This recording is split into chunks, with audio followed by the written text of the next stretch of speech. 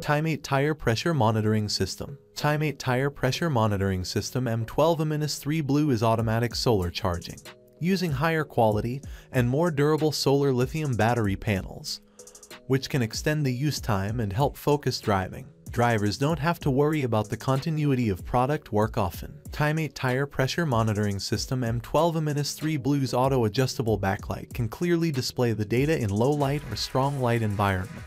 Real-time monitoring and real-time display of data are the best helpers for driving. It will enter the sleep energy saving mode after the vehicle stops running for 10 minutes, and will automatically wake up when the car is turned on.